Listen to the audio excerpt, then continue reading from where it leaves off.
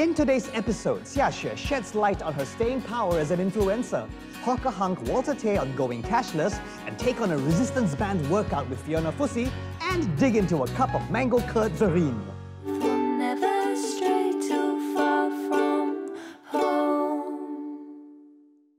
Hello, and thank you for staying home together with me, Hossan Leong. As businesses resume operations and services, we must continue to remain vigilant and stay socially responsible.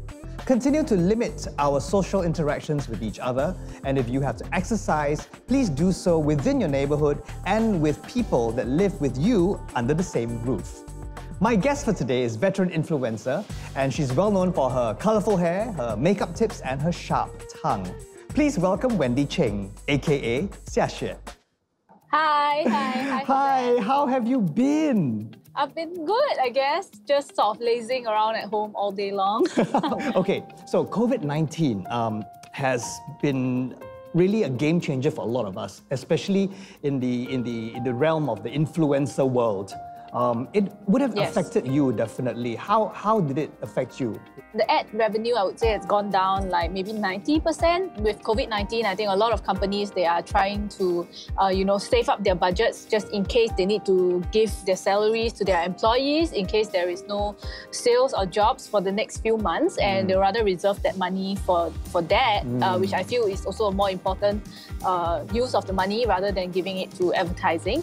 So I guess a lot of campaigns are also at a standstill because they don't want to launch something now Yeah. uh, that they cannot host events. You know, um, people are just not really in the mood to spend so much money. So I think that a lot of things are sort of like being pushed back as well. So when there are no new launches, then there's no need for influencers.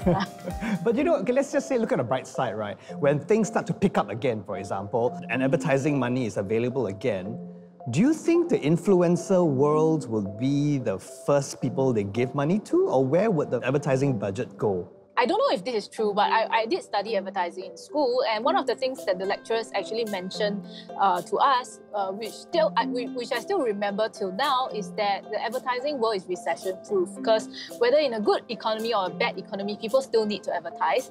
Um, but I'm not. I'm not 100% sure that that is really accurate from what I'm witnessing right now Yeah. and just based on logic. I hope that what he said is true, but uh, would say that yes, if, if uh, businesses continue to you know do all those campaigns, they, they would need some advertising as well. Sure. Well, we hope for the best, but you know, there are all these Yeah. younger influencers coming up because you are a veteran with Mr. Brown and Mr. Miyagi. You are all you are the Pioneer, pioneer. one. pioneer batch, the OG. What advice do you have for the younger influencers today? My advice, I guess, because of this pandemic, I guess, is to really just diversify. Uh, it's really what the finance people always tell us, but people don't really listen. Um, and you know, it's really has just been very comfortable for me this past decade or so. I just Yeah. fell into this job, and then it earns me money, earns me a good enough living, lah. Not a lot, but good enough. So, and the next thing I know, it's been like so many years, and that's the only thing that I do. So, I'm just happy that you know, like in 2019, I actually um, started a social media agency, and I started my own makeup brand. Um, and like these two companies are actually doing better than my influencer ads, lah. Yeah. So yeah. I'm, I'm kind of glad that you know I did that. Yeah. Which is great though to hear about your, your companies doing so well. Now let's let's talk about your makeup company that you have. How is it doing in this pandemic period?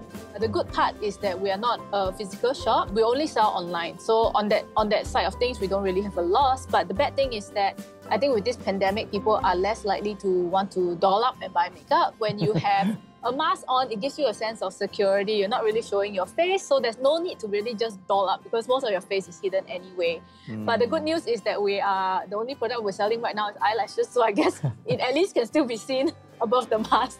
you know, so that that that part is a good thing, and also because um, luckily for us, we sell false eyelashes, Mm. and um, a lot of the girls they cannot go and do their eyelash extensions extensions now, Yeah. and they can't stand it that their eyes are bare. So we got a lot of customers from that base going to us as well. So there's good and there's bad, lah. Yeah. So in the course of your career, uh, Xia Xue, there have been a lot of well, I would say controversy lah, because you know there's been fights on social media, wars with other people, and all that.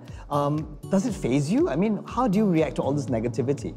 generally, I think I'm one of those weird people around who don't really get very affected by hate comments. Sometimes I feel like the hate comments, I really appreciate them because without them, I won't be motivated to do better.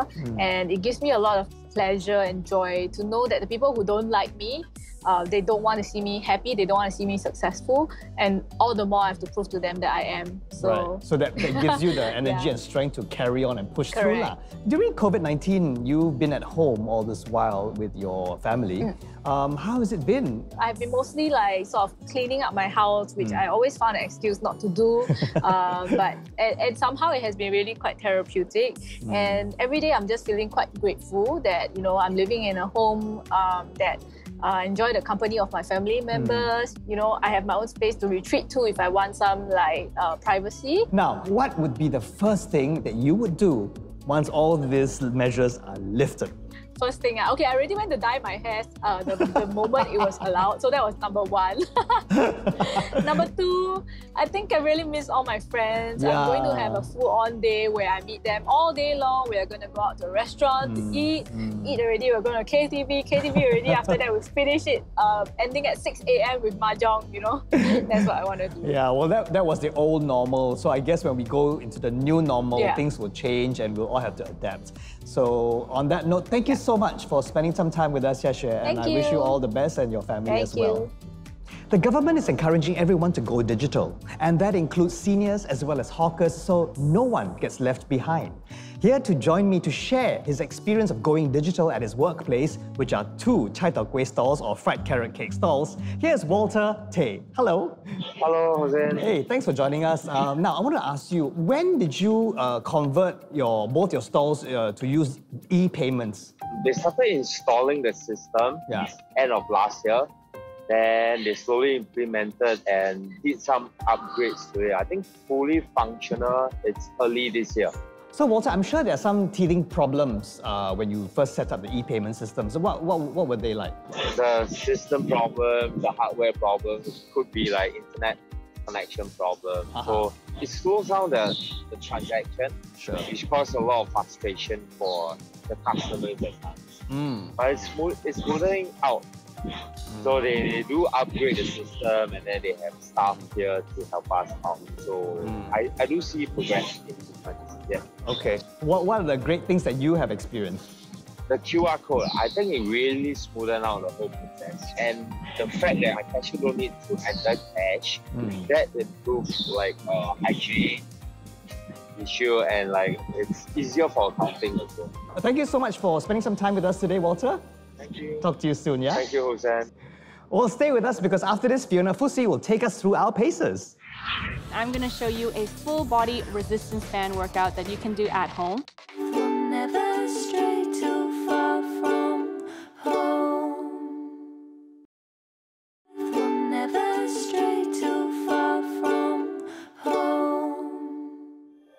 Welcome back.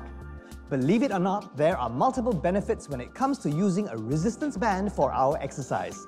Not only is the resistance band a great alternative to machines, it is also lightweight, helps to control our focus, and promotes better form. So resist no more and join Fiona Fussi for a fun and rewarding workout. Hi, I'm Fiona Fussi, and I'm gonna show you a full body resistance band workout that you can do at home. All you need is a resistance band, and the mat is optional. Let's get started. So, the first exercise is called archers.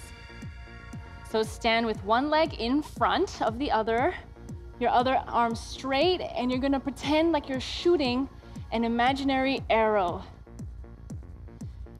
Pull back the resistance band with your shoulders. Make sure that your elbow stays up the whole time. Really engage your shoulders. Squeeze your shoulder blades. Last few, almost there.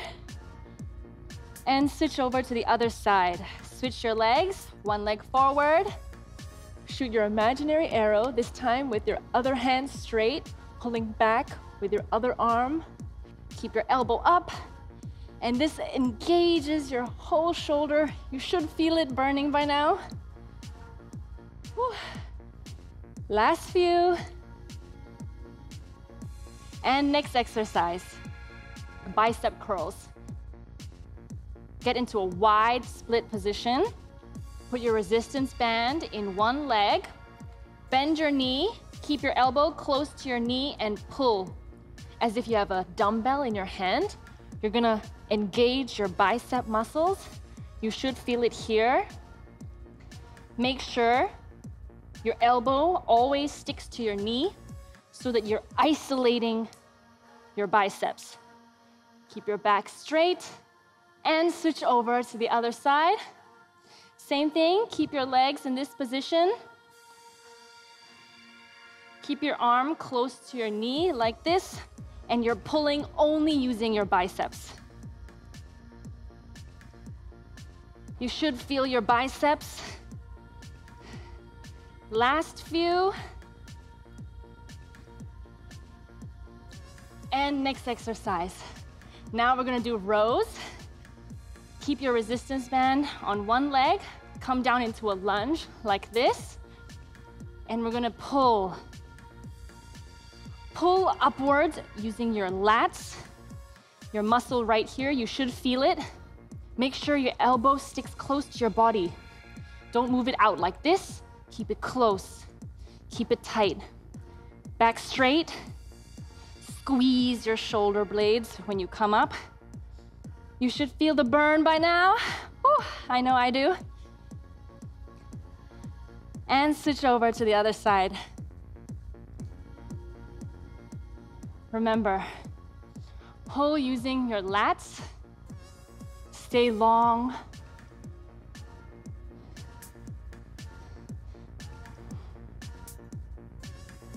Make sure your form is good. All these movements are slow and precise. Almost there. Whew. Next exercise. We're gonna go down on our hands and knees on the mat, but put your resistance band through one leg and bring it up to the back of your knee. And we're gonna use the other knee just to step on the resistance band to keep it down. When you're on your hands and knees, lift your leg up like this. So the resistance band makes it a lot harder, adds a weight. You're gonna pulse your leg up. This is isolating your glutes, your butt muscle, and switch over. Same thing on the other side. Keep it at the back of your knee. And remember to use your other knee just to step and press on the resistance band so that it stays still and pulse. Keep your back straight. Don't arch your back. Just isolate and engage your butt. You should feel it already.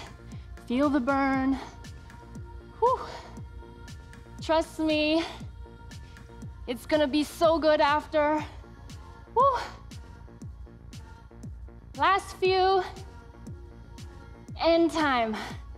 Well done. Last exercise. We're gonna do crab walks. Come to the middle of your mat and put both legs now through the resistance band. I like to keep them on the shin. Come down into a squat and we're gonna do crab walks. So take small steps right and left. It should look a bit like a crab. That's why it's called crab walk. But keep your butt engaged, keep your thighs engaged. We're working our whole lower body here. Try to sit back even lower with your butt. Sit as low as you can. It's the last exercise. You can do it. Almost there. And time. Whew. Well done. I'm so proud of you. That one was tough. You really worked your full body with your resistance band. I hope you enjoyed it. Stay strong. See you soon. Invest in a good quality resistance band if you are thinking of getting one to help improve your fitness. And do note that, like all other things, these bands can break down over time due to normal wear and tear. It's time for a quick break, but don't go away because when we return, you'll be rewarded with Chef Angela May's mango curd verrine with healthy crumble.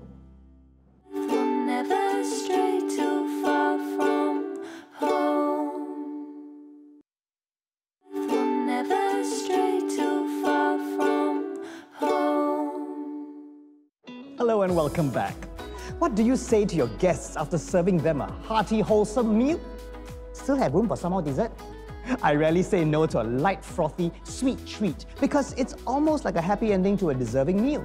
And our chef for today, Angela May, is going to show you how you can impress your guests with a delightful mix of mango curd verrine with healthy crumble. Hi everyone, I am Chef Angela May and I hope that you are all safe and healthy. Today we're going to be doing a beautiful light and fluffy dessert, which is a mango curd layered verrine.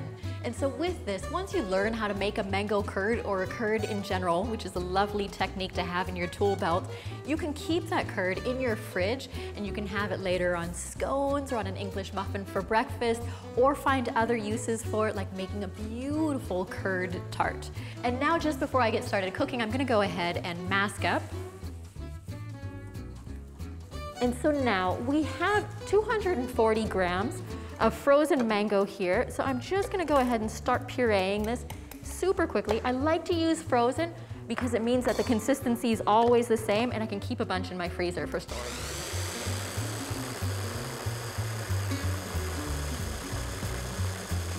Go ahead and puree it until it's quite fine.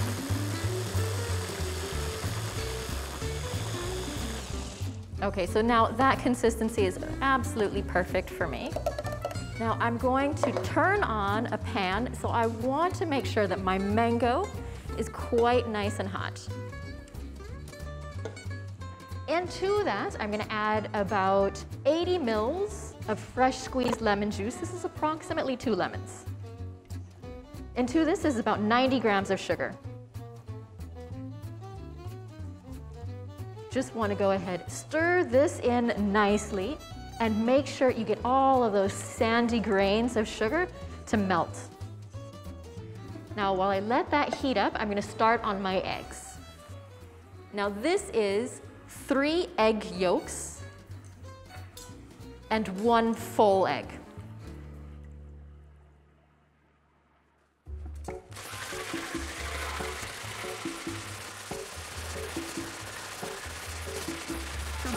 Started for a while and then start raining in the rest of your sugar.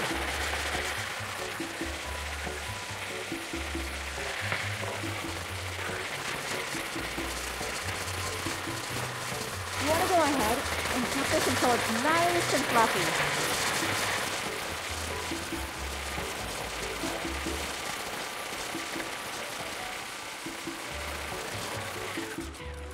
And then now get ready. I need to very, very carefully not cook my eggs, but put in the mango mixture into my egg mixture. Just lightly pouring it in.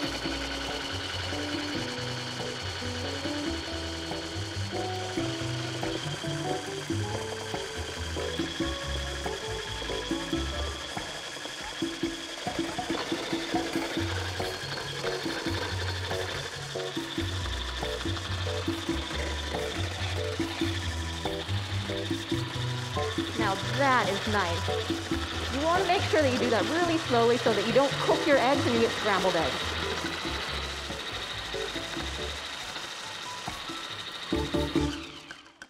Okay, and so now I'm going to get this really nice deep pot because I'm going to continue to whisk, so I want a bit of depth here. And then turn it on to a very, very low heat.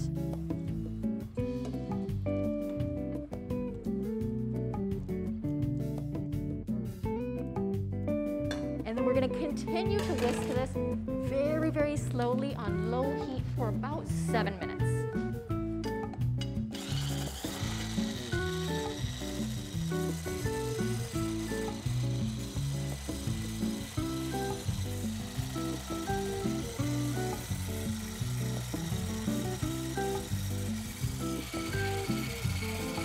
Oh, gorgeous. Now you can see how nice and beautiful and thick that is. Take it off heat and just come over here and then using really, really chilled cold butter, I'm gonna start putting in my butter to emulsify. You wanna make sure that your butter is super cool so that it doesn't start melting.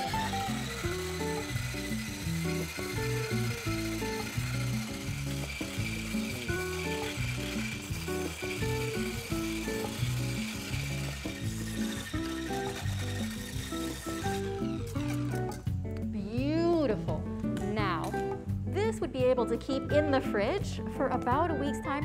If you want to save some for later, then go ahead. Just make sure that you put cling film over the top so it's touching the curd so that you don't develop a skin. I'm gonna go ahead and chill this down. This is nice and chilled down. So we're gonna start building our dessert. So I have these tiny little shot glasses and what I wanna do is I want to show these nice, gorgeous layers. So I'm gonna see if I can get to this all the way down into the bottom of the glass.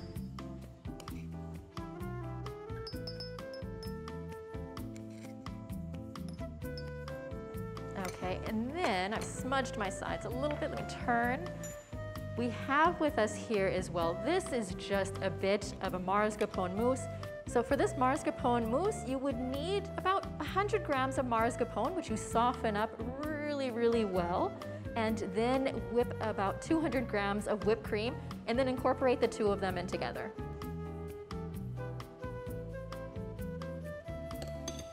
Okay, and to this, I just want to add some fresh berries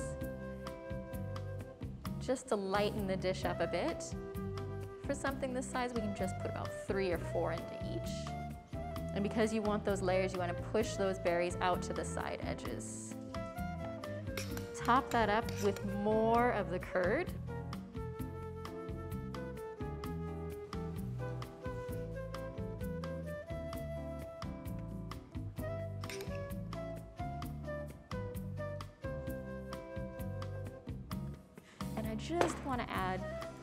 Extra texture to this. So we're just going to crumble that healthy crumble. It's got these beautiful oats, almonds, and flax seeds in there. So it's not just all a smooth dessert. Now I can't wait to have one of these for myself. Mm. Mm. So bright and so vibrant and so refreshing. I'm so glad I made a big batch so that I can have some now and keep some for the rest of the week as well. I hope you're all staying healthy out there, Singapore. Learning is a lifelong journey, and no one is too old to learn or pick up new skills. Seniors who are keen to find out how to buy, pay, learn, and play online, do check out the We Go Digital page on the Infocomm Media Development Authority website. I'm Hossan Leong, and I'd love to see you once again tomorrow on Home Together. Cause home is never far